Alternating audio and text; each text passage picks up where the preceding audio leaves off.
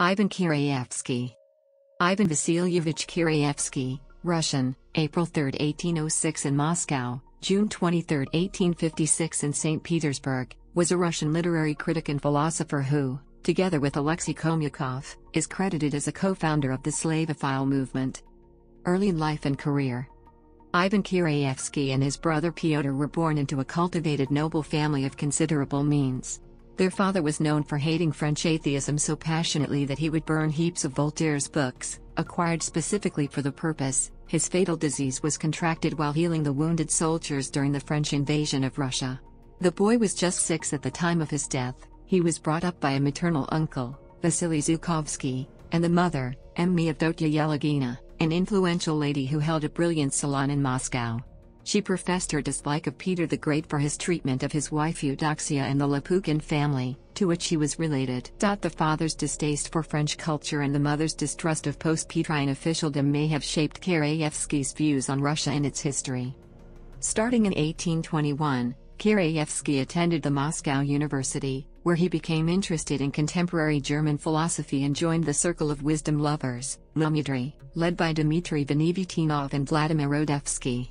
He was particularly impressed by the teachings of Schelling, whose representation of the world as a living organism was in tune with Kireyevsky's own intense dislike of European rationalism and fragmentedness. Kireyevsky's original literary works do not give him a place in the history of Russian literature, but he did gain a measure of fame by publishing the penetrating analyses of contemporary authors. His 1828 review of Pushkin's poetry, written in purple prose and entitled Some Observations about the Character of Pushkin's Poetry, contained the first in-depth assessment of Eugene and Onegin. Later, Kireyevsky would exchange letters with Pushkin and publish his works in his short-lived periodical Yevropeyets, the European.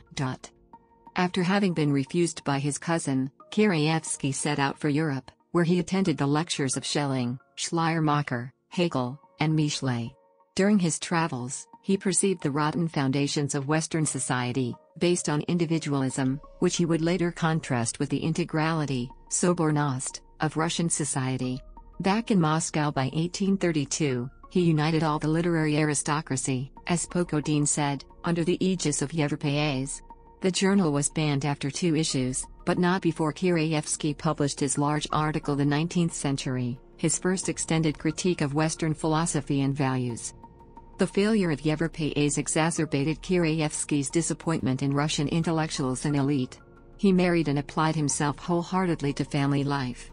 Many critics, starting with Herzen, tended to attribute the 12-year hiatus in Kireyevsky's literary career to his Oblomovian inclination to indecision and inaction. Indeed, his whole literary output consists of a dozen full-length articles and may be collected within a single volume. The full 1911 collection of his works, including letters, is 600 pages in two volumes. Later Life and Ideas It was not until the early 1840s that Kireyevsky reappeared on the intellectual scene of Moscow to take the side of Khomyakov in his controversy with Herzen, Timofey Granovsky and other young westernizers. Since the reactionary reign of Nicholas I was not favorable for journalistic activities, Khomyakov and Kireyevsky criticized the one-sided, superficial, analytical rationality of the West in salons and soirees of Moscow. In his few written works, Kireyevsky contrasted the philosophy of Plato and Greek church fathers, notably Maximus the Confessor, with the rationalism of Aristotle and medieval Catholic doctors of the Church. He blamed Aristotle for molding the mind of the West in the iron cast of reasonableness, which he defined as timid prudence, as opposed to true wisdom, or the striving for the better within the circle of the commonplace.